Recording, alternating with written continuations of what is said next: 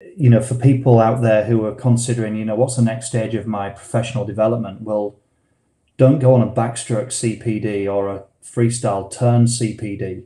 Find find something that's going to allow you to be a better person in the way that you deliver. Because I honestly believe that great coaching is not the content, it's the delivery. Welcome to the Propulsion Swimming Podcast, where we aim to give swimming the coverage and publicity it deserves. Every week, we celebrate the sport we love with amazing special guests and topics from around the swimming pool. And now, here are your hosts, Scott and Dan. Hello, everyone, and welcome to another Propulsion Swimming podcast. Dan, no messing around this week. We are going to get straight into this podcast, and we have a belter of a guest for you all. Mm, we've got one of the most well known coaches in both the UK and in Ireland, and I feel like there might be a little bit of brain picking from us on this one, so it could be a long one. I'm very much looking forward to it, though. Yes, me too. So, for this week's episode, we've got Olympic gold medal and world record setting swim coach, Ireland National Performance Director of Swimming and Diving, the newly appointed president of the World Swimming Coaches Association, and one of the most recognizable men on the British poolside. Please welcome Jon Rudd. Jon, thank you so much for coming on to the podcast. How are things with you? Yeah, they're great, gents. And um, that was a hell of an intro. Thank you very much. Um, I hope I don't let you down after bigging me up so much there. No, it's very much deserved. We've um I tell you what, both me and Dan have been racing against Plymouth for well, we raced our whole swimming careers against the squad that you put together down there. So we are mm. we're very excited to touch upon that topic. But first, a massive congratulations on becoming president of the World Swimming Coaches Association. You must be chuffed. I am. I mean, it's look, it's a great honour, and um, there's very few coaches that are going to have that privilege to try and help the sport that they love make progress, particularly in the coaching world. But um, you know, it comes with a little bit of trepidation because I step into some really quite remarkable shoes in terms of George Block, the previous president, and what what he achieved during his time. And I've also got to balance that with you know my day to day work of trying to improve something in in uh, in the nation that I work for. So um, I hope I've not bitten off more than I can chew, but I've always loved a challenge. And um, the one thing that I've always lived by is if you're going to do something, then you do it properly. So they won't get anything other than 100% effort and commitment out of me. And we'll see, we'll see where we go, particularly as swimming is in such a, an exciting time, you know, flux and change around FINA and LEN and so are the many bits and pieces that I couldn't have picked a, a less quiet time to take it on, you might say. so, what does it mean to be president? What kind of roles and responsibilities are there? Well, I'm still unpicking that, but I, I was vice president for um, four years, so I, I got to see uh, George do do his thing as president prior to this, and um, I've been a member of the board initially as the British Swimming Coaches Association uh, representative when I was the chair of, of the BSCA a number of years back. So I've got experience of what they what they hope to do and what they're trying to do, and it's been very very much kind of slowly slowly catchy monkey in terms of, um, you know, unpicking and trying to rebuild what what might be right in the in the world of swimming is is no small task, right? So. Mm-hmm. Um, ultimately, if you were to if you were to put it into two areas, there's less than one percent of coaches in the world that work at that world level. Um, so although it's a relatively small group, it's an important group because they have a great deal of influence, or should have a great deal of influence on the way that the sport is uh, managed and the way that the sport evolves. So we'd advocate for that group of coaches and um, advocate for them a voice at the at the tables that make decisions around the, the the really important stuff that matters. You know how the Olympics operate, how the World Championships operate, um, where the World Juniors sit in the calendar, and all of that kind of thing. Hmm.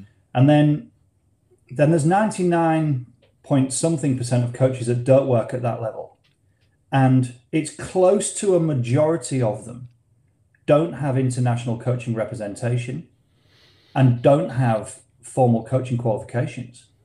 So there's a lot of nations out there where coaches are literally just flying by their seat of the pants every day and doing what they think is right, reading books and doing their own bits of research on the net, and trying to do best by athletes in relatively poor facilities in countries that you wouldn't consider to be anything like big hitters in the world of our sport. But when you look at how many of those coaches there are, and then percolate that down to how many athletes they have an influence on and over, it's a huge amount of our sport out there that those guys need support with representation, uh, with informal and formal education, and that's where WSCA can can help too. So we're we're looking to establish the cake, and then we're also looking to really work on that cherry on top of the cake as well. Oh, that's a great analogy to kind of finish that explanation. um, that's that's not a small job in the slightest. How how are you going to juggle that with Swim Ireland? Is there like a massive support team behind the scenes at the World Swimming Coaches Association? So um, the World Swimming Coaches Association has evolved in the last couple of years in that we've we strategically we've decided that it should operate in continental bodies um, that report to the, the board, you know, the, the, the main body of, of the association, if you like. And we started that just before COVID with um, the establishment of a, the European branch, WSCA Europe. And we were at the European Championships in Glasgow in 2018. And we had 50 or 60 coaches from, I think it was 22 or 23 different nations, sat in a room in Glasgow, all agreed that we should do this, put a draft constitution to them. We took a big list of names of all of those guys that were, were keen to help. And then COVID hit. And um, and and then it, that's kind of stumbled and we've really got to pick that up now but with international travel being difficult um, and coaches having much more on their plates to deal with of you know it used to be like if i go to an international swim meet how fast do my athletes swim at the moment if you go to an international swim meet it's how fast do my athletes swim despite the limitations they've had are they going to be safe and well by the end of the meet and can i actually get them home Mm. Right. So the whole sort of gambit of what an international swim meet is has drastically changed. And Tokyo very much underlined that, and so did the recent World Short Course in Abu Dhabi.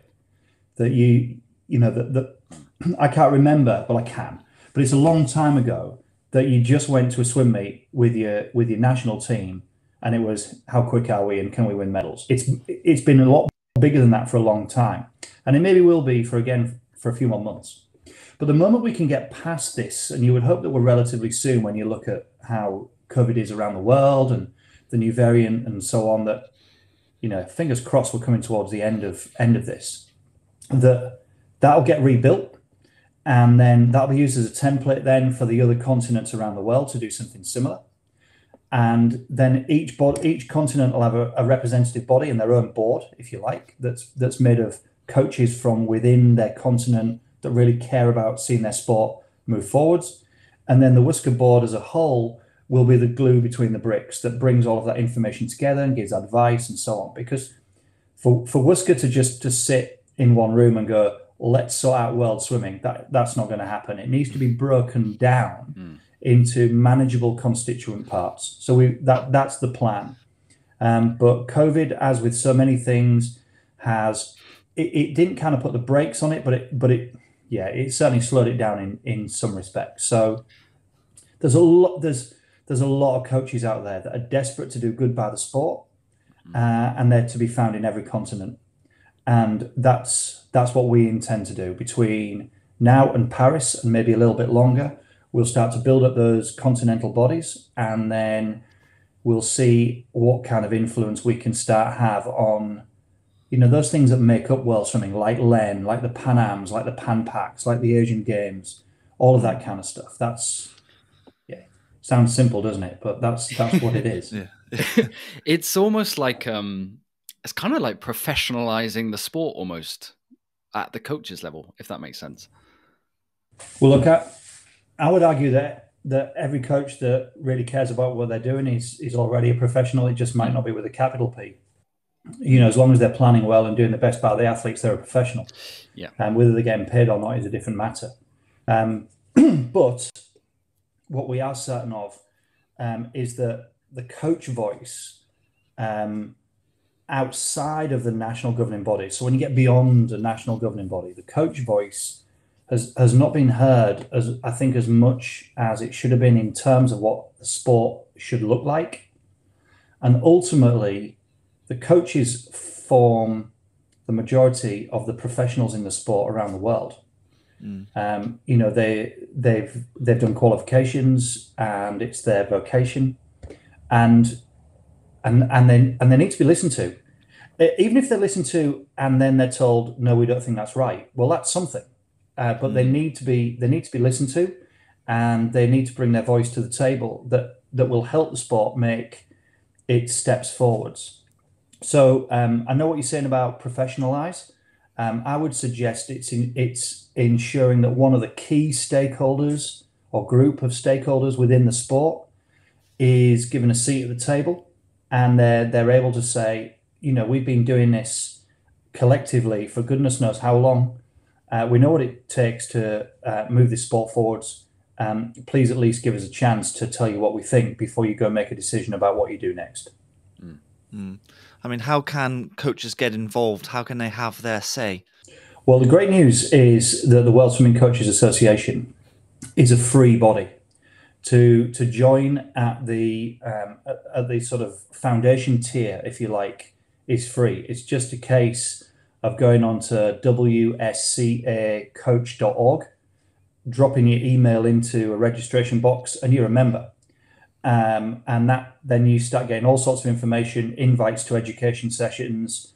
Uh, you get some newsletters and all sorts of really good bits and pieces. And the the capture um, for that now is is in the hundreds of thousands. So that's great news. Oh, good. Um, then there's a um, an accentuated level, if you like, where you can pay it's only like ten dollars or it's something really small um, per month, and you get an amplified service, more information, more opportunity to engage with with world leaders in their fields and so on. And we've got some exciting plans coming up about how we'll work with some bodies that maybe you don't even know exist. You know, there are some bodies out there that have responsibility for open water swimming. Um, it, certainly outside of the competitive element of open water swimming, and they literally have hundreds and thousands of coaches working with them, but wouldn't have a direct um, association or affiliation with with national governing bodies or with or with FINA or with LEN. We need to find a way to bring these people together and get them get them all talking, um, rather than working in silos. Even though in some cases they're big silos, um, and so that's it. You you go to the website and you either choose the free package or the relatively small cost package, and, and you're away. Yeah. I mean, I think it's it's a fantastic initiative. We'll we'll drop the link for that in the description of this podcast. Um, plenty for you to look forward to in the future, Jon. You're you're going to be a very busy man, but if you don't mind, let let's rewind slightly. Let let's look back at Plymouth. So, like me and Dan said, we we raced in the southwest constantly. Um, you had a great career at Plymouth Leander. What were your highlights there? Um, well, it, it's difficult to say what what the highlights were because there was there was so much success. I think in that program for quite a lot of time, and I would absolutely say that I was a I was a, the leadership of a great team rather than you know it was it was Jon Rudd's thing. I had so many talented and great coaches and people that worked with me and for me at the time that it's you know they they might give you different answers, but look, Plymouth produced an Olympic champion, which that's, and at a time when Britain wasn't doing that, you know, after Tokyo, it, it does seem that that's almost become the norm now. That there's so many coaches and yeah. programs out there that are producing Olympic, either Olympic champions or at least Olympic medalists, which is mm. that's just so fantastic for British swimming. Wonderful to see. Um, but if you go back to 2012, that was that was not the norm, and um, we, you know, we struggled in London. Britain struggled in London as a nation, as we know, and it and it got better in Rio, and it got a lot better again in Tokyo. Um, so look, Plymouth produced an Olympic champion, um, and three world records came out of that program. I wouldn't know how many European and Commonwealth records came out of that program, but it was it was double figures.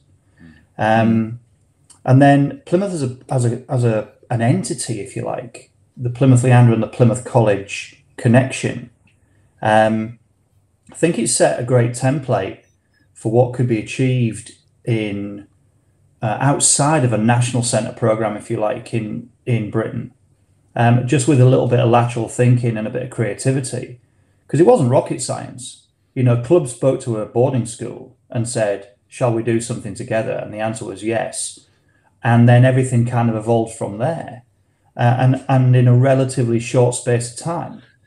Um, you know, the time from me being employed as a full time coach in Plymouth to me leaving um, after Rio was only 10 years. And, and so in that period, you know, so much was achieved. You know, National Arena League title, I think, was won eight out of those 10 years. Um, and at the time I left, you know, we had just just short of 30 different nationalities of international athletes moving to a relatively small town um, in the southwest of England to go to what had been um, a, a, relatively unknown school outside of the southwest, and you only had to go back a little bit in time to a to a club that was not even the best club in Devon, never mind one of the best clubs in Europe. So, with with a you know with a, a little bit of um, enthusiasm and energy and you know, some great partners, had some great assistant coaches during that time. Very forward thinking um, headmaster and deputy head at Plymouth College. Some great chairs at Plymouth Leander and a, and a, and a board at Plymouth Leander that basically said, we're going to be a club led environment, uh, a, sorry, a coach led environment. Tell us what you need because you're the professional.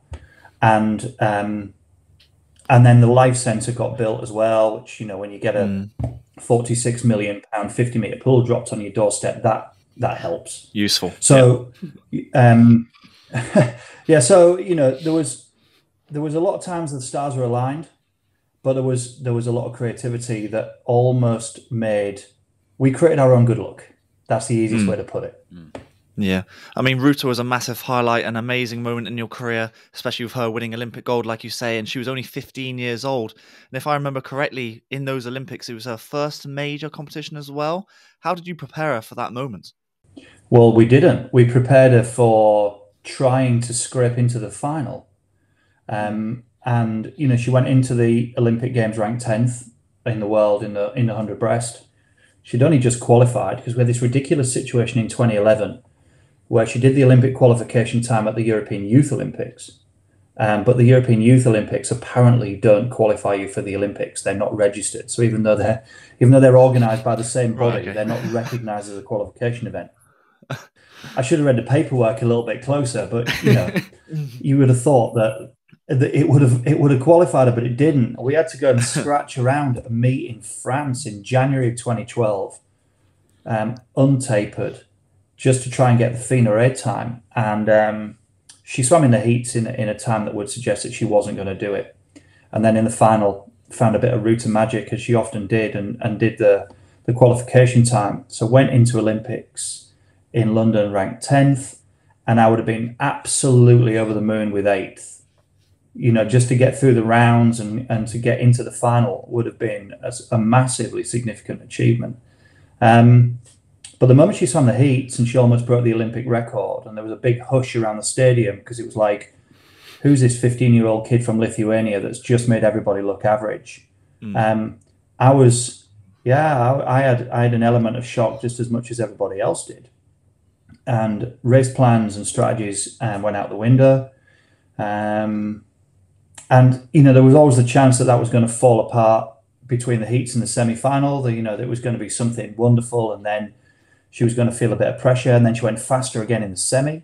And what made it even harder in the semi was I couldn't find anything wrong with the race. You know, in the heats, there was a couple of technical things to address. In the semi final, you know, it was like, hmm, uh, that's almost perfect. Uh, you know, what do you coach? Yeah. Um, so and and so when she went into the final rank first, and she had Rebecca Soni next to her, and there was Efimova in there, and and Breeja Larson, and all these girls that had you know been tearing the house down for a few years, it still seemed like you know this could be fourth or fifth, and then you'd be disappointed. But you would come in here hoping that you'd you'd get top eight. Um, and I remember thinking to myself after the semi, if there isn't a medal here, it's an opportunity lost. Um, and then I don't know if you recall, but the starting mechanism failed, and everybody sat around for like 10 minutes waiting for them to repair the starting mechanism.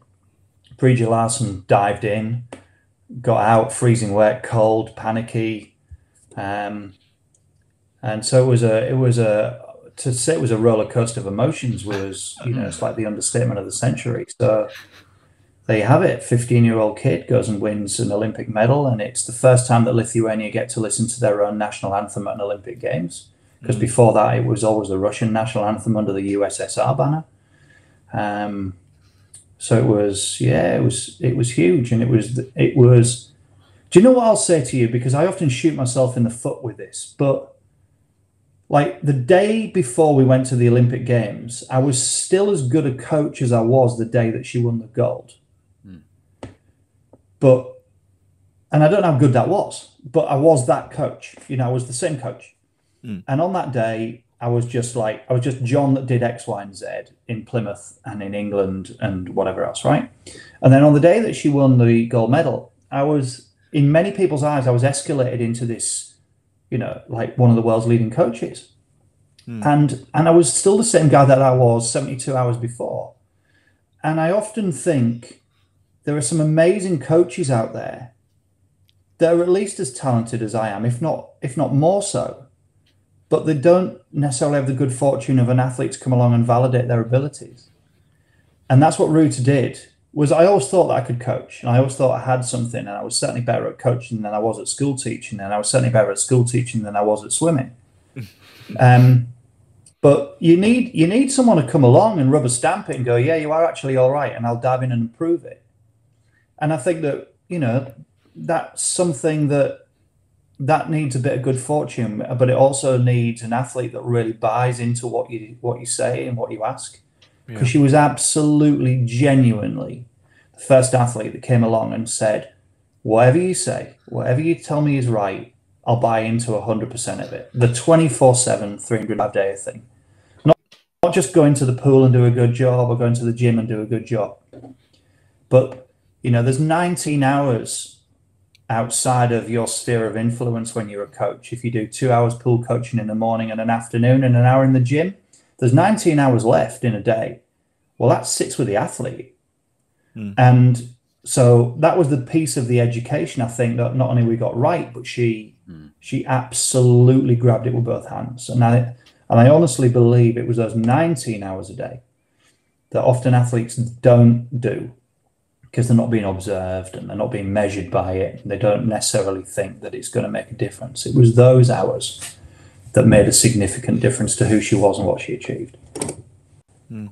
And is there an advantage in it being a boarding school environment that that helps her 19 hours a day when she's away from the swimming team? The whole Plymouth College has its philosophy that drives the, the team as as well as the team itself.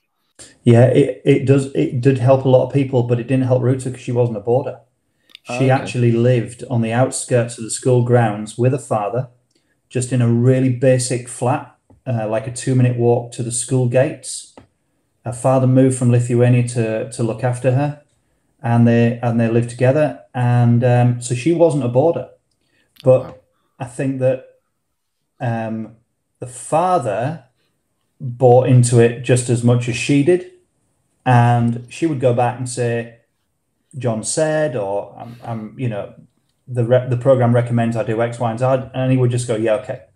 And I don't know if that's an Eastern European thing, mm. where there's just a you know I don't know if there's a little bit more acceptance and compliance in their culture, um, but she was a blessing to coach because she just went, oh right, okay, you've said it, so I'll do it. Uh, you now you have to be careful when you, when you've got that because um, you have to make sure you're getting it right, because you know someone's totally relying on your your every word. Mm. But um, now, if you take if you take other people, um, the boarding the boarding apps well, the boarding absolutely decided whether they were true to their word, mm. or it gave them enough scope to to um, to to deviate from that which they said they wanted to be, because when the, there's absolutely no doubt that your your own mother, your own mother and father uh, looking at you through a magnifying glass on a day to day basis um, means that you get away with a lot less than a boarding house master and a boarding house mistress watching over 20 or 30 of you. Mm. So if you're not true to your word and you don't deliver on that which you say you're going to do, i.e., the reason that you're you've come there and your parents are going to invest in you in that way, um, then that that can that can be uh, you know not the best experience, particularly for a coach trying to manage that. Mm. But in the majority of cases, those that that honoured their parents' belief and investment in them, because it ain't cheap to do something like that. Mm. Um, those guys flourished, and they flourished because they recognised that they might have a talented coach back at home, uh, but their swimming program might be the thing that was holding them back. No matter how talented the coach is, if they don't have enough hours, they have a S&C program, they don't have a 50 meter pool, they've got too many athletes per lane, their sessions are at a terrible time of the day, etc., etc. It doesn't matter how great that coach is um, because they don't have the resources around them to deliver what it is that that athlete maybe needs. And that's what that's what Plymouth and now other programs um, in Great Britain can offer. It it removes that geographic disadvantage away from the athlete. Mm. I feel like a lot of coaches would dream to have a summer that successful so young. What sort of challenges did it present with her being a world leader while still effectively being an age grouper? Did you have to hold her back at any stage? Um, she she dealt with it really really well. I mean, you know, she she won the Olympic Games and then and then went and won her first European Junior title, um, and uh, and swam the first World Junior Championships and so on. What what the what being a junior still at that time allowed her to do was do stuff other than breaststroke, because she was absolutely a great freestyler, and um, and and certainly could swim a decent medley. I think at the European short course in 2018. Um, she swam the second fastest 100 IM of all time. You know, there was only the world record that, that was faster than she swam on a 100 IM. And she couldn't swim butterfly or backstroke, really. It was kind of okay. She got away with great underwater speed, and um, and that allowed her to swim 57.4 or whatever it was at that time on the 100 IM. So, um, but she swam like world juniors. I think she got bronze in the 50 back, and it, it wasn't a pretty backstroke. Um, but but what the junior swimming for the next year or two allowed her to do was just not be a breaststroker. Mm. Um, now, when we went to the senior meets, obviously that's what she really focused in on. Um, and she had an advantage over over many breaststrokers of being able to swim the primary training stroke well without fear of injury or not being able to keep up with a lane. You know, freestyle was extremely decent. Mm. Um, so that but she then very quickly after that within a year was desperate for the junior years to finish um, i remember going to the, the world youth olympics in china um, and she just kind of got mobbed by young kids and i say young kids they were her age mm. but her maturity was so far beyond the age of everybody else at the meet that she almost looked at them like you know, they were three, four years younger than her when actually some of them were the same age as her. Mm. And so when the junior years finished, I think she was she was quite pleased. But it didn't allow that latitude so much of, well, let's do some other stuff that that you enjoy and you can still get through the rounds and you can still challenge for medals and they're they're less pressured environments, if you like. You know, if you do a world junior final in the 50 back, no one's expecting another world record or for you to do something scintillating. And if you do, that's great. Um, so it was a it was a yin and a yang that period, I suppose. Hmm. It's almost that message that we've had on here. We've had it so many times for coaches before about avoiding plateau by not specializing down. Yes, she was the world record holder at the 100 breaststroke, and that was what she was going to be. But by freeing her up mentally and racing these other races, it it almost I don't know not why am I reduces pressure. Yeah, reduces pressure for uh, for what was a really hard period as a junior. Yeah, and it's why um, if parents and young swimmers advise me now, you know, whether whether we should partake in other sports other than swimming mm. at age group level? My answer is um, on the balance of things, yes. Mm.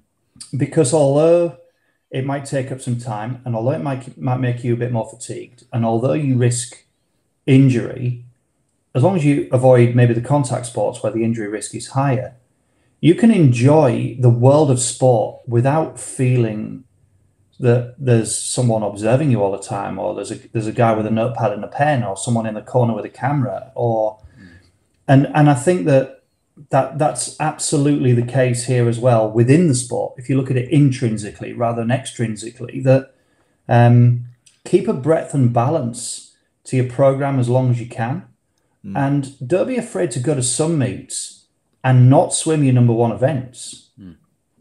You know, it's it's not a problem it's it's only if if the outcome of that one meet is important, then you would do that.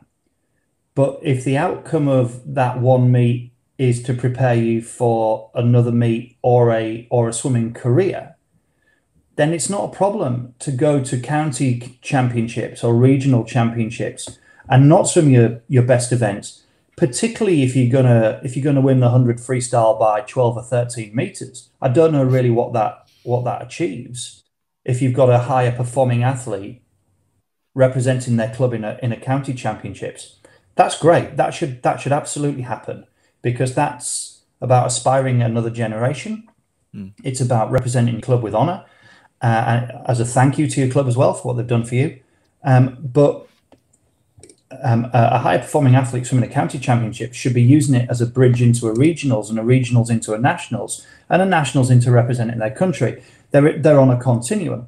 So you know if you're if you're amazing at the at the at the 200 backstroke, don't be afraid to go to the county championships and not swim the 200 backstroke. If there's something that you can get out of your comfort zone in another area, um, go and experience defeat. You, you you learn an awful lot from it um, and and take and take the knockbacks on the chin and dust yourself off and come back the following day and race another event that isn't your natural bread and butter and have a go again. So whether whether medal and the outcome really means something, yes. Where it's part of a process, maybe not. Now that's not me deriding a county medal or a regional medal because for hundreds of athletes out there, a county medal is an amazing achievement and it is an amazing achievement. Um, but if you're ranked third in the nation um, or sixth in Europe, maybe winning your county championships isn't such a big deal. Mm. Um, and you've you've got to accept that of, of where you sit in swimming as a sport at that time. So um, don't be afraid, if if necessary, in consultation with your coach, to to leave your premier events behind and learn something from getting second, third, or fourth. I think that's, really, really powerful really, message. Yeah, really, really good advice. Actually, do you have any other advice for coaches who are currently experiencing success like you did or still are? Yeah, enjoy it because it doesn't last forever. Um, mm. There's, there's, there's no doubt that um, you know when you're in a purple patch and you're having your and you're having your moment or your moments, unless you're in a fortunate position uh, to be working in a in a national centre within your country where there's just a conveyor belt of great athletes being handed to you on a on an annual basis. If you and there's you know at the end of the day in um, in Britain there's there's between four and six of those guys, and we have a similar number in Ireland. So the vast majority of coaches are working in different environments. So if you're working in one of those other environments, enjoy it. Um, be humble and gracious um, for for the good times. Prepare yourself for maybe a maybe a bit of a bump back to earth because you don't know the day when that athlete says I'm retiring or I'm going to go and swim somewhere else. Um, and you just need to be able to, like an athlete having a, a, a tough time, you've got to be able to take that on the chin, and then you have to rebuild. And I, you know, so some of the coaches that I absolutely hugely admire uh, maybe maybe outside of swimming would be those coaches that that achieve the top of their game and then seem to be able to come back the next year or the next season and are equally hungry to do it again, even when they've already done it. Mm. You know, Alex Ferguson would be a would be a tremendous example of that. You know, he was as hungry for his sixth or seventh FA Cup title as he was for his first, um, or his you know however many Premiership uh, titles he won, and then I'll go and do it again, and then I'll go and do it again. Um, and I think as as swimming coaches, we've got to have that that resilience, and um, and resilience ultimately develops into a concept of hardiness, where you you become thick skinned and broad shouldered, and um, you could you you take the you take the good times as magnanimously as you take the tough times, because you know I can I can think of quite a few British swimming coaches that've been absolutely at the top of the game. And then have had some fallow years where they've maybe struggled a little bit, finding finding their feet or changing programs or whatever else. But I can I can tell you the you know I'm not going to name them, but I can tell you the ones that didn't change their personalities or character because of that. They are the great people. That regardless of what's going on around them, um, they were they were the same person even when the tough times were there and then quite often they'd come again. Somebody else would walk through the door, or they'd get a new opportunity, and and and they'd have a second wind. So um, yeah, if you've got if you've got success now, um, there's there's a good chance that at some stage it'll it'll either dwindle or go, and then you've got then you've got to have Plan B in your back pocket about what you do to go looking for either that again in the same environment uh, that again in the same sport, that again in the same role, um, or how you're going to change your life to continue with the same kind of job satisfaction that you that you had at that time. Mm. Should we talk about your change then? Because you went from success at Leander and you've decided to move on to Swim Ireland. What made that change come about?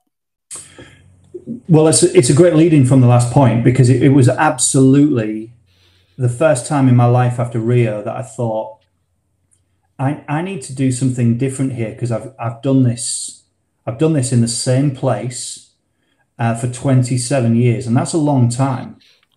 Um, and I could you know did I want to carry on coaching? Yes I I, I, I did and I, and I love coaching and I'd and I'd go back to it tomorrow if the right um, opportunity came along um, no, I wouldn't because I actually love what I'm doing now. So you know, you know what I mean. It, but yeah, yeah, it, it's not that I fell out of love with coaching. It, it's um, it was. Do you do you want to try and do you want to try and do everything that you set out to do again? Mm. So you know, when I when I wanted coaching, someone said to me, "What what do you want to achieve?" I said, "Well, I'd like Plymouth Leander to to be the best club in in Britain." and um, I'd like to coach an Olympic champion, and I'd like to coach a world record. And you and you say all three of those almost like, well, that means I can do it forever because none of you know um, one of those will happen if you're lucky, and the, the chances of all three happening is is slim to nil. And then all three happened, and after Rio, um, and and partic- you know, it was Rio was weird because because Ruta was was struggling um, uh, but Ben Proud had come on the scene, and you know, there was there was part of me that was like, Ruta's still an unfinished project. If she wants to keep going, I think we can get. I think we can turn this round. And my goodness, Ben Proud, mm. this guy's a rocket, and we've only just started to scratch the surface with him. Um, but I, I, you know, I had that sort of honest conversation in the mirror, which was um, are you as are you as hungry to keep doing this job as you always were? And if I was honest, I was just a little bit less hungry. And then when I asked myself the question, so if swimming's your passion and swimming's your love, what is it you want to do? And the answer was help people experience that which I experienced.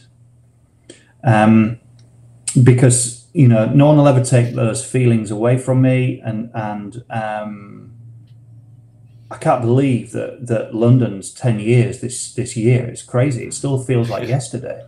Yeah. And when when something that monumental is part of your life, um, but replicating it doesn't drive you, then my answer was then find a way for somebody else to experience that and you just be able to sit back and go i helped them and that's why a performance director's job when it came along in an english speaking nation because i am limited with the fact that i can only speak one language uh, came along i was like right there's there's your chance go and create a culture go and strategize go and go and, go and help a nation to to um, try and achieve that that you've already achieved. And, and I, I still sincerely hope that one day there's a coach working in Ireland um, that experiences that that I experienced in London, and I'll be able to just smile and go, yeah, that was that was what I came here for. Yeah, I mean, we've noticed, and I'm sure many of us have noticed also, uh, a lot of progress Mm. in Ireland in recent years. How is it going over there? Uh, uh, what changes have you made since your arrival? Oh goodness me! Now the changes, um, you know, I could hand you over in a in a telephone directory of, of, of changes. Some of them small, and some of them and some of them quite big. Um, you know, I, I think I think the first thing is that we we re-established what the national centre programs were. There was a national centre in Dublin and a national centre in Limerick. I would suggest that they look different now to what they did in 2017. And then this um, these last few months, we've also added a third centre in Northern Ireland. Um, for those people who don't understand um, Ireland or or Irishness as much as I do now, there's the island of Ireland, which is the geography of the whole thing, but it's actually two nations. There's the Republic of Ireland, which is which is the the holder and the owner, if you like, of the Irish flag and the Irish national anthem, and then of course Northern Ireland that were that would be part of the UK, but in most sports would fall under the banner of an all Ireland team, as with the rugby team when the Six Nations run out in a few weeks' time, and swimming's in that boat. Now anybody in Northern Ireland can represent Great Britain if they wish, but their default is to represent Ireland.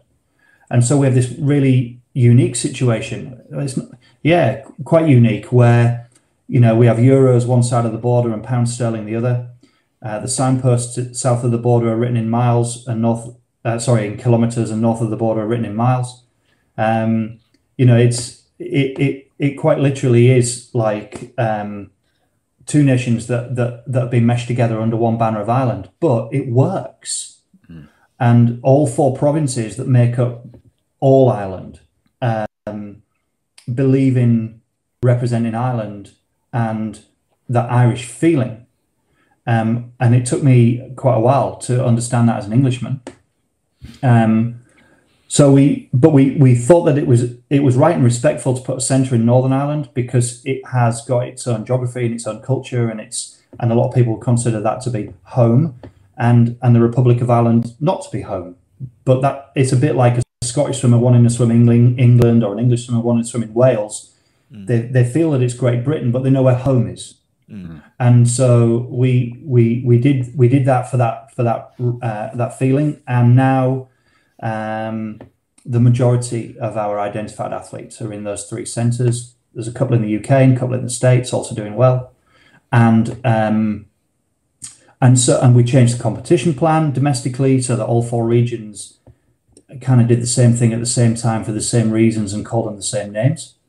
Um, and I think when I when I arrived, the performance team was I think it was three staff, maybe four, and it's now twenty, with a whole host of um, contractual staff working across two um, sporting institutes. Again, one in the south, one in the north. Um, it, it it looks and feels different. Um, we didn't we didn't throw everything out because there was some good stuff going on, and um, and there was there, there was things there that we said right well if, if we just polish that a bit it'll be even better and then there was things that we that we quite literally started from scratch and that blend of um, bringing in new and bettering the old um, that's that's helped us move forwards now we're not where we want to be you know we're still we've still got some some way to go and we're always going to have the challenge of being six million people across the whole island um, which is not a huge populace in which to progress one sport. And it's a vast geography and extremely rural. So if you live outside of Dublin, Cork, Galway, or Belfast, you've got challenges.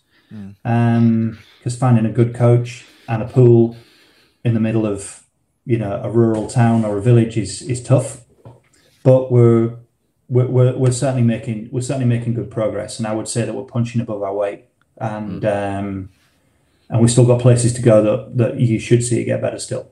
Yeah, definitely, definitely moving. I'd say really fast in the right direction short mm. course world championships.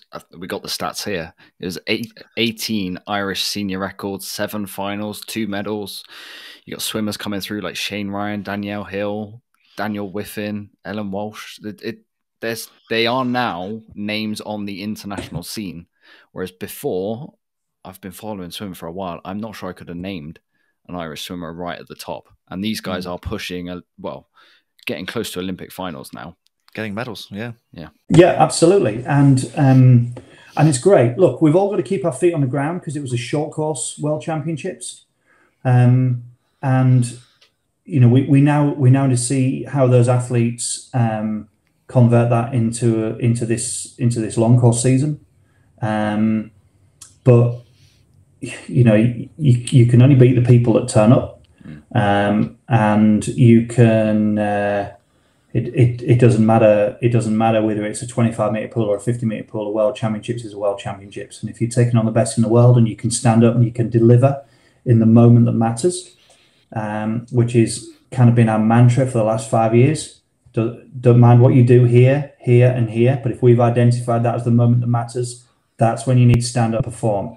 And a week before and a week after that doesn't that doesn't sort of ring the bell and that's that's the kind of stuff that we've now that we've now started to see. And um, hey, I'll, I'll, go back to one of the comments that I made about Plymouth.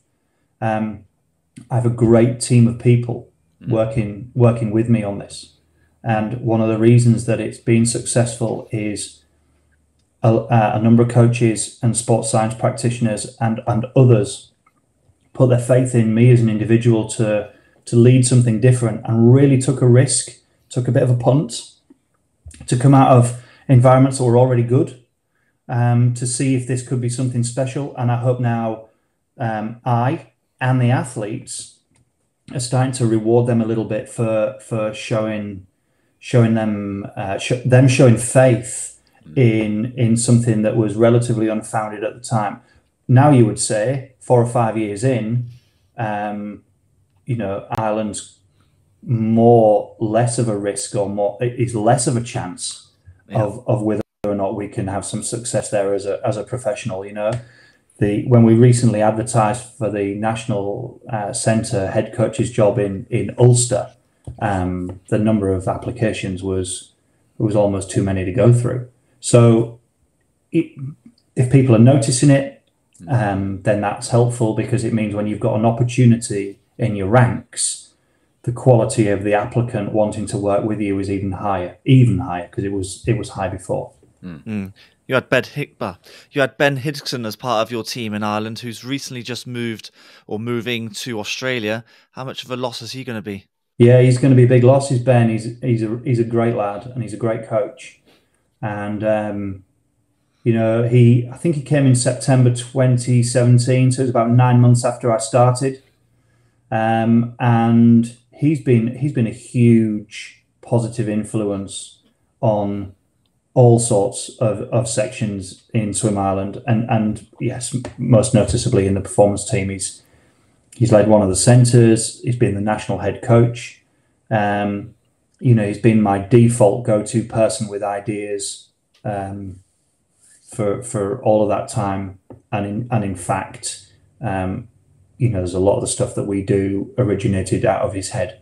So he's he's certainly going to be he's certainly going to be missed. Um, but I, you know, no one can blame him for looking at the opportunity that's been offered to him. Mm. Um, it's a it's a it's a wonderful opportunity out there in Australia and a fantastic place to to live. And he's got a young family, so um, you know we absolutely um, thank him and uh, graciously accept that he's made this decision. There's there's no well, there never is any bad feeling when people move on, eh? Because you've been you've been part of you've been part of the process that help that's helped them to apply for such a position. Yeah. So yeah. you know you would you would all feel um, you would all feel good good for the lad, um, and but I always say with these kind of things, you know, what might look like a problem is an opportunity in disguise. And we're still 30 months away from an Olympic Games. Um, people keep saying it's it's around the corner, and it is, but it isn't. Mm.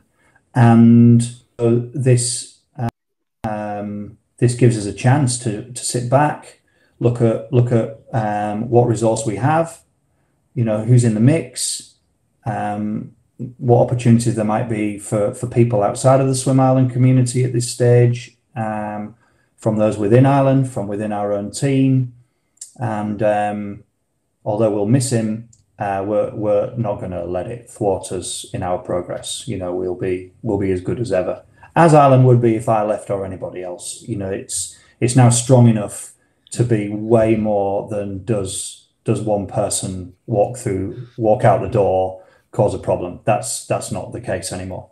Yeah, absolutely. I, th- I think the everything you've described to us about Swim Ireland is that mantra of success breeds success, and it's just a snowball effect at this point.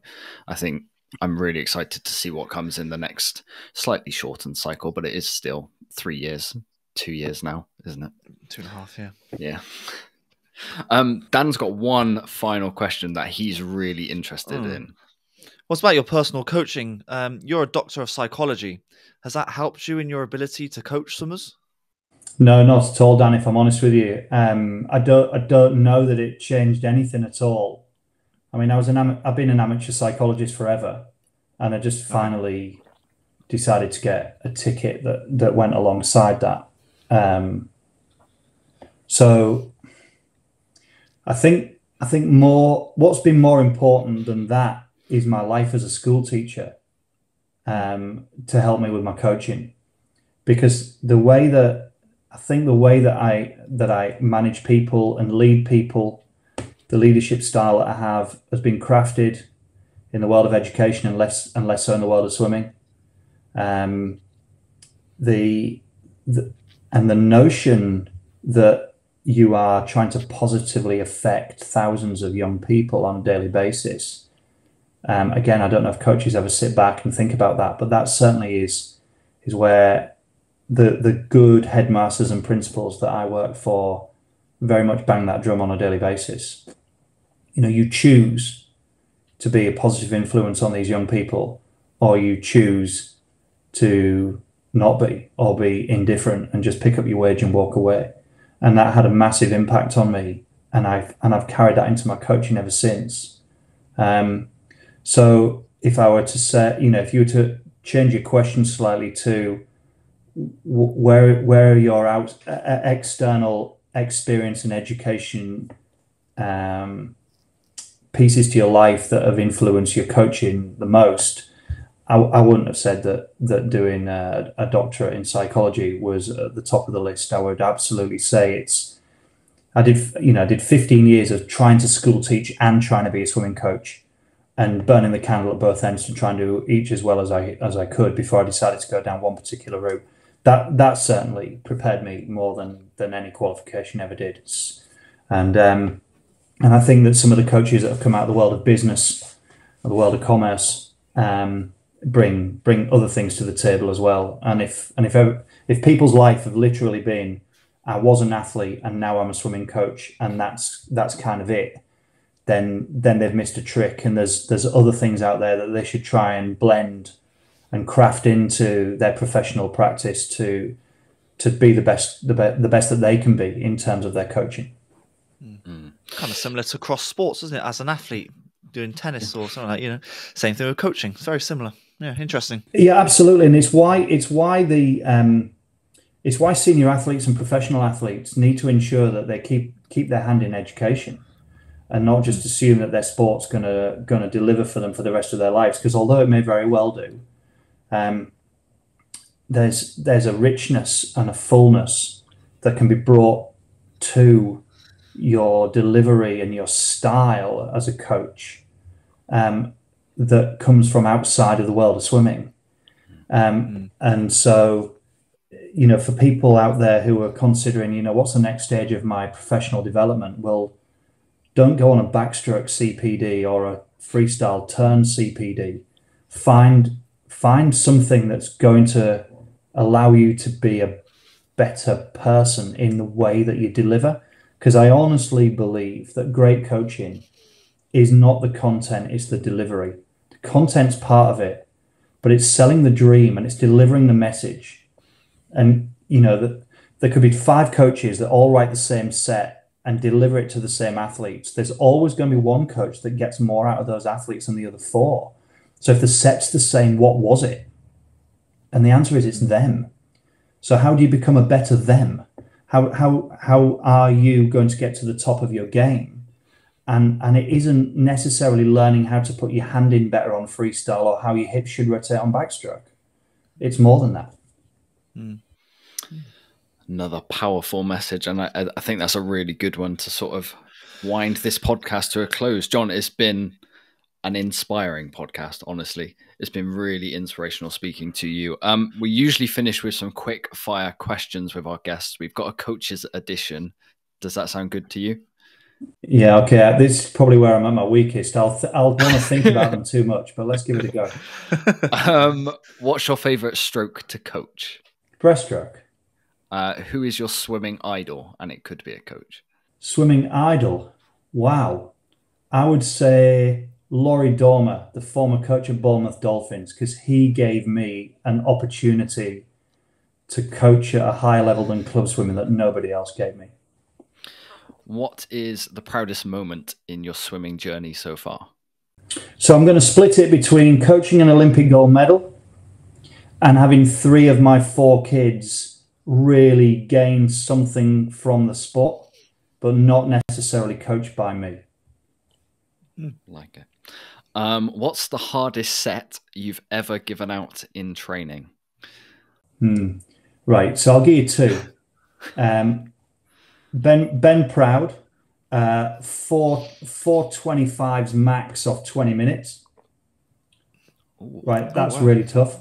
I like that. Um, Cassandra Patten, 60 50s freestyle, holding 32 seconds, going off 40. Blimey. Completely different spectrums, but Yeah. equally. There you go. Yeah. That's tough. Yeah. um, and if you were to go on a road trip, there's three spaces in the car. Who would you take with you? They can be friends, family, or celebrities. Okay, so I'd, I'd absolutely take Tommy Cooper. Um, I'd take Geoffrey Boycott. Um, and then I would take Brian Clough. Oh, yeah. Nice ones. Nice. Yeah. Um, Jon, thank you so much for coming on to this week's episode of the Propulsion Swimming Podcast. It's it, honestly, I hope everyone listening gains as much from this podcast as I know me and Dan have gained. Yeah, it was actually really inspirational, like you said earlier, and I've learned quite a lot to be honest with you. Um, I just really hope that Swim Ireland continues on the path that it's on at the moment. I, I, I generally think there's good things to come, and I do think Olympic medals are on the way. So watch the space. Thank you, gents. That just about rounds up this week's episode of the Propulsion Swimming Podcast. If you haven't subscribed already, please do so on YouTube, Apple Podcasts, or Spotify. Dan, I will see you in seven days' time. Yes, thank you very much for listening, everyone, and we'll catch you on the next one. You've been listening to the Propulsion Swimming Podcast with Scott and Dan. We want to thank you for joining us and invite you to subscribe to the show, as well as checking out the Propulsion Swimming YouTube channel for weekly tutorials and videos to get your swimming fix. We will be back next week. Until then, we'll catch you on the next one.